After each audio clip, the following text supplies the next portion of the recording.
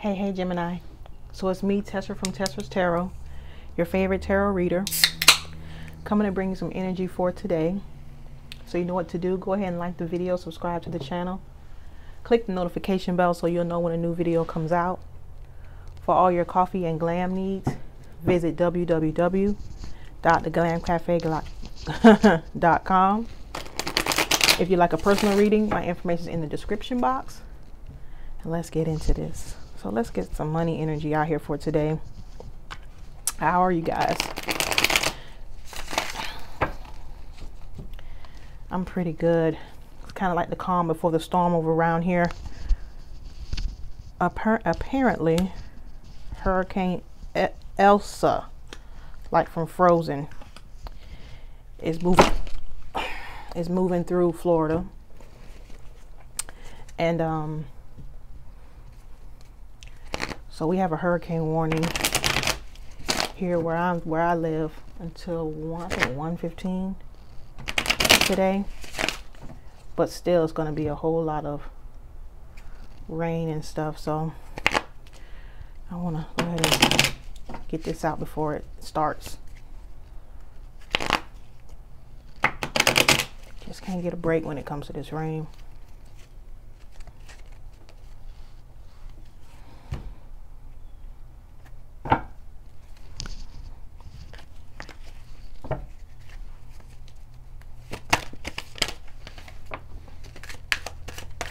one more. Okay, gave me two more.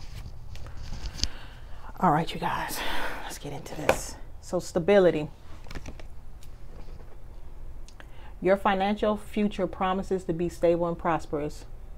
Some of you guys have, some of you guys look very good in gold. Gold looks good against your skin color. Some of you guys um, would rather wear gold jewelry than silver. Um, Take control of your finances to create stability in your life. Excellent time to take action on any money related ventures. Okay. Spirituality. You are being guided to discover your own unique spiritual path at this time. You may be called to become a spiritual advisor, healer, or anything in the occult. Some of you guys are spiritual workers.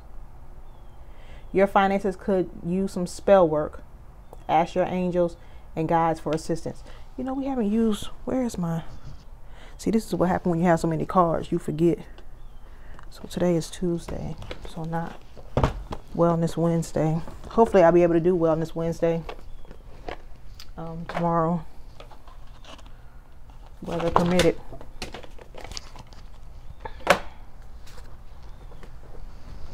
I just thought about the spell work when um I mean I thought about the witch's oracle wisdom oracles when um they said spell work. So that's saying that some of you guys are supposed to be working in spirituality or some of you guys are finding a new path. Some of you guys are on a spiritual path. And it's also saying that your finances could use some spell work, so some candle work or you know, um, affirmations, that type of thing. Ask your angels and guides for assistance. Okay. The rebel. You're a trailblazer meant to see things differently and set a new path for others. Your rebellious spirit makes you a great system buster to teach others a better way. An old belief about money could be preventing you from getting ahead. Affirmations. Um, the affirmation for this week and you will say this affirmation over and over and over again for the rest of this week. Money comes to me, money comes to me in increasing amounts from multiple sources. Money comes to me in increasing amounts from multiple sources. Money comes to me in increasing amounts from multiple sources. That's the affirmation for this week. If you say that over and over again, out loud or in your head, I guarantee, even if it's something small, like you find a dollar or something, I guarantee money will manifest. Guarantee it.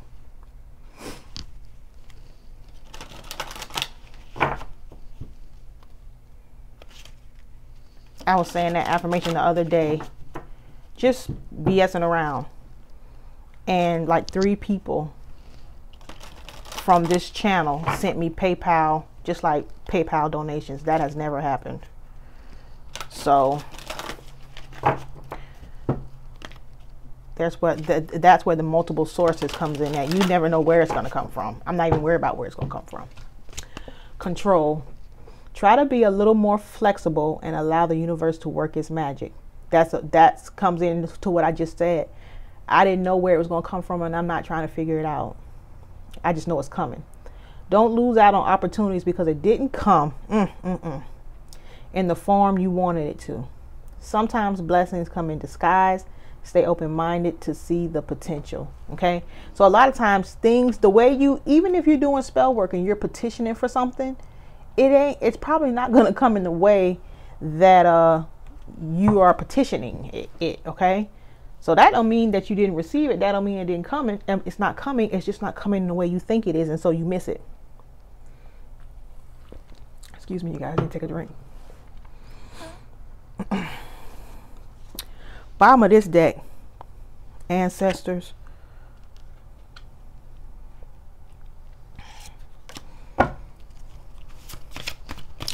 Some of you guys need to, um, some of you guys need to be honoring your ancestors. Okay. Light, light a candle for them. Put some water out there. Fruit on their altar. Um, if you do ancestor work. And then magic circle protection. You know how I feel about protection. Psalms 91 should be something that you say every day.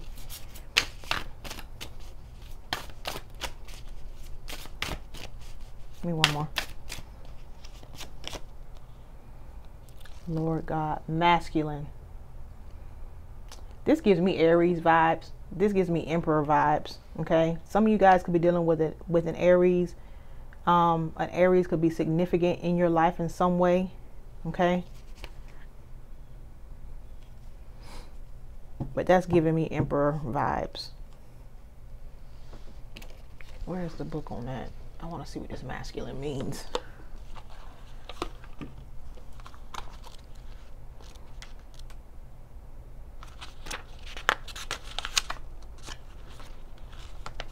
You're My Angel by Anita Baker may be significant to somebody. Um, that song keeps playing in my head. Okay.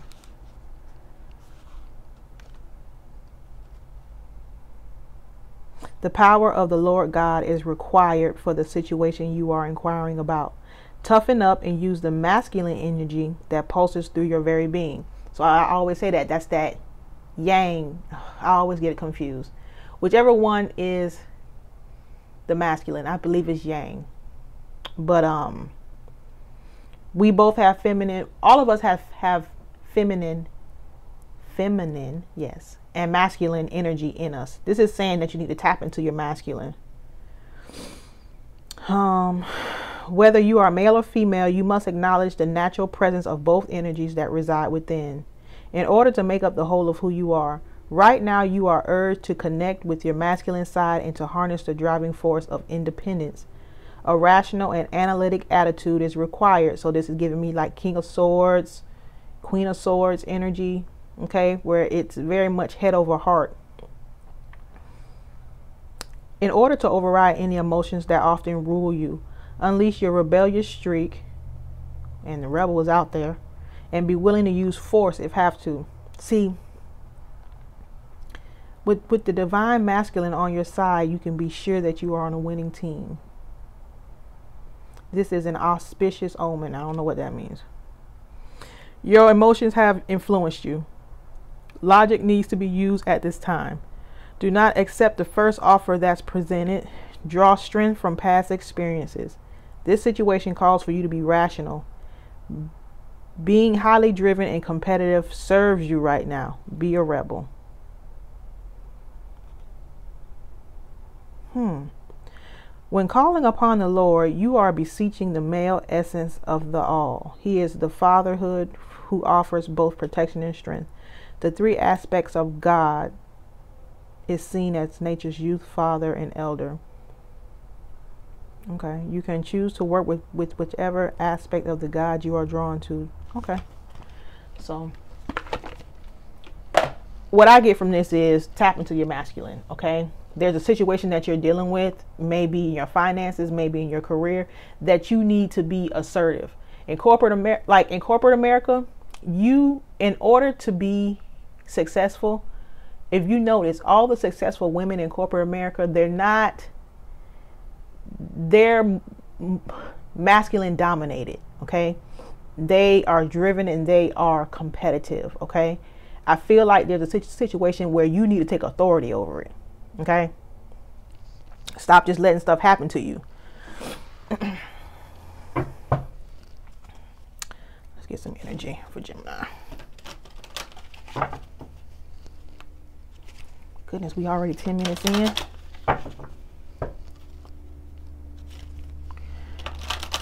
call this the morning sip. It's more like the See, yeah, yeah, it is called yang energy. So again, here's yang coming out again. You need to tap into your masculine energy. Okay. Some of you guys, I just saw fork in the road. Some of you guys are at a fork in the road when it comes to a situation. And you need to take, uh, be very, I feel like you have to be analytical and rational when making whatever decision you're trying to make. Okay. What else for Gemini?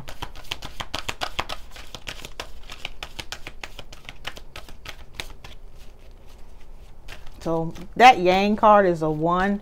It gives me Ace of Wands vibe. So about taking action, being creative. A new project, the urge to create something. What else for Gemini?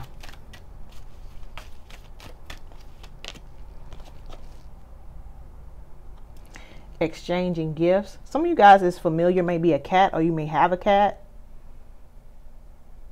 Exchanging gifts. So you may be gift giving or somebody may be giving you a gift. But that is not what I think. When, so this gift this gift this this is giving me about ex, exchanging spiritual gifts okay this is what said this is what this card says to me okay you may be as you may be dealing with somebody who has a, spec- a specific gift, and so do you. Spiritual gift.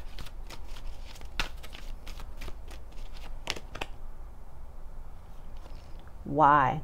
So, yeah, this is about spiritual. So, some of you guys are on a real spiritual path here, figuring out your gifts, finding out what you're gifted at, seeking a lot of knowledge especially with this Y card coming out on top of your ancestors, your ancestors, your spirit guides, you know, they'll be the ones to give you any knowledge. Ask them to guide you to books that you need to read. Because this looks like there's some kind of book that you need to read. This is giving me hermit vibes. Seeker of knowledge. I feel like you're, you're looking for stability on your on your path with that 31. 3 plus 1 breaks down into 4, which is about stability. So I feel like you you're getting the urge to create some kind of path for yourself, something where you could use your gifts, maybe spirituality, some kind of spiritual worker or something like that. But you have questions, okay? Work with your guides and your ancestors, and they'll give you the um, they'll guide you to where you need to be, as terms in terms of gaining knowledge.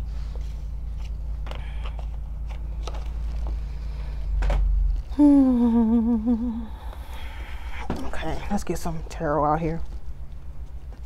Bottom of the deck, judgment. Clarity. So this is about being clear about being clear about something, making a final decision on something, okay? You may be I just feel like you are making a judgment or waking up to like your purpose or your calling or some kind of path or something. What else for Gemini?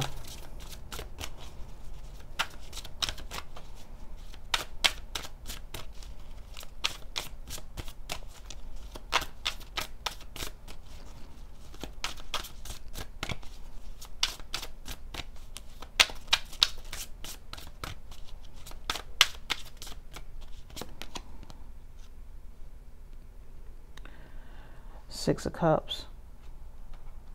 Nostalgia. So either this is you reminiscing about the past with this six of cups here. Again, there's a cat here. Some of you guys have a cat or, or your familiar is cats. Um, but you may have some clarity about something from your past. You may be remembering things from your past. So things that you saw in your past and you didn't make the connection. Like there was things that I to see my grandmother do. And my grandmother was a Christian Christian. Okay. Um, but there are things that I to see my grandmother do that I didn't make the connection with until now. And I don't even think she knew. Uh, well, she may have. Um, so you may be connecting some dots right now. Okay but definitely making some kind of or getting some kind of clarity about the past okay? With this magician here at the bottom of the deck could be dealing with a gemini or a virgo. With this six of cups you could be dealing with a scorpio. Um but i don't really feel like this is a love reading but could be. With with this magician card out here i feel like you're waking up to some kind of you're waking up to your path or the fact that you have the power to change things um, I feel like you're waking up to that with this magician card here. Maybe waking up to manifestation. Give me one more.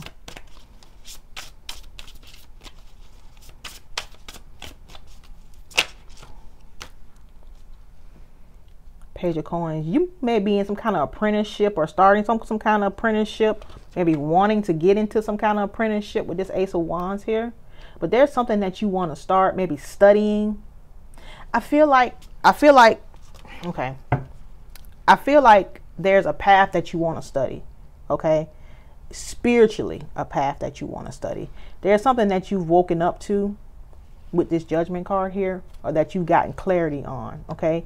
It could be the fact that you have ancestors that that practice certain spiritual practices and you're waking up to that or you're getting clarity on that because look at this it's, it's like this person was enlightened okay?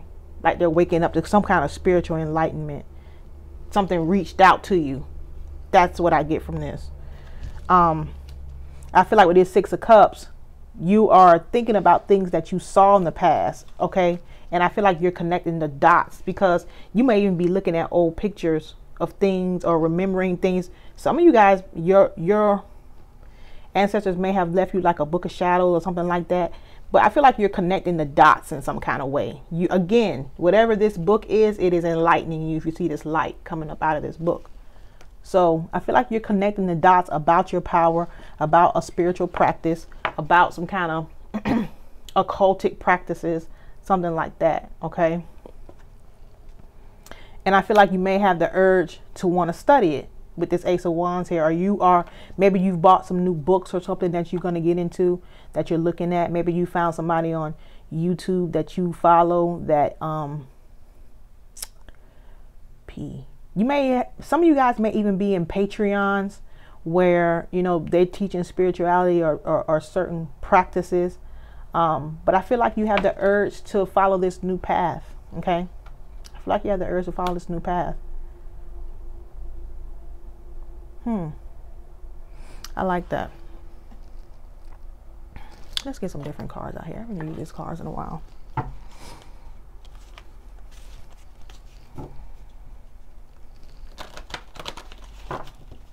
Hmm. Bottom of the deck, illumination. So again, being enlightened. Believe in the power of grace. When we, when we least expect it, a new door will open and the light of grace will illuminate our next step okay? Again this is about things unfolding and it may unfold in a way that you're not expecting. Some of you guys are supposed to be in occultic practices. Some of you guys are supposed to be studying um, make sure that whatever practice it is it's a practice that is that goes along with your um, your race. You know don't be trying to get into closed practices. But anticipation. Expect the best. The world is working in your favor. So this is all about affirmation, okay?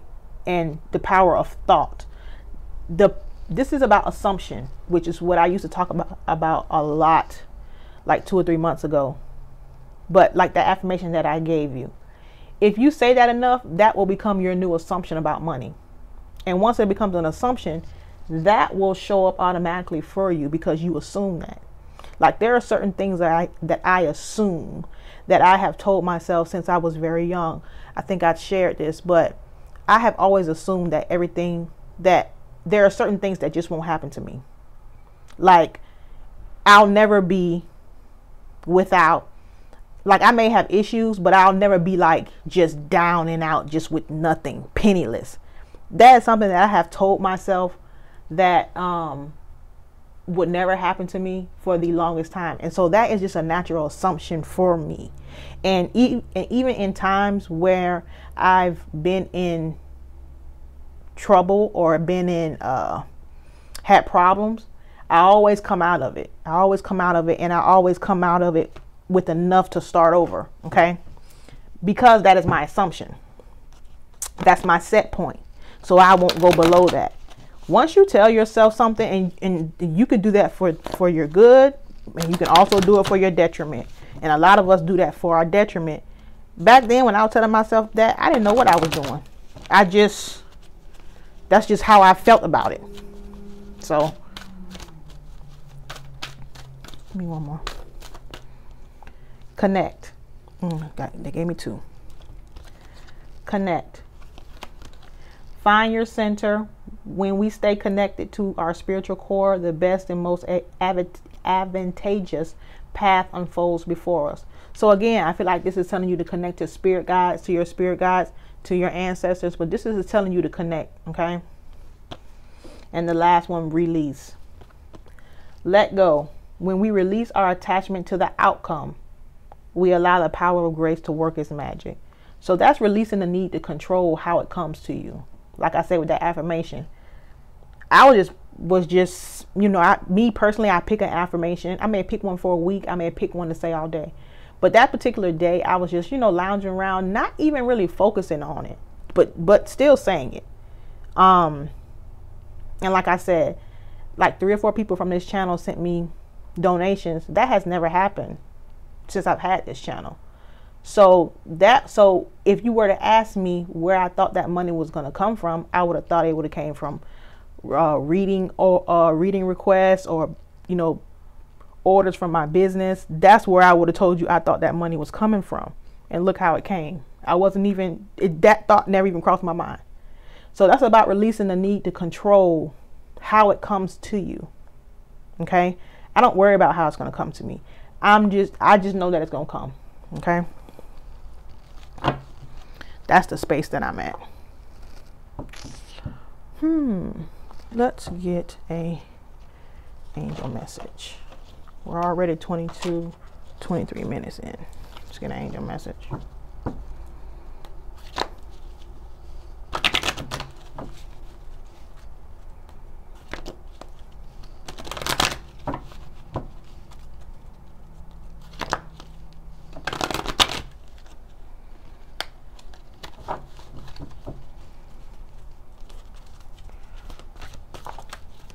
message for Gemini.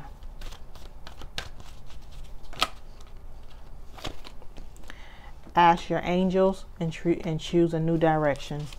So there's a certain way that you need to be going, okay? And I feel like in this choose a new direction, I feel like it's a spiritual path.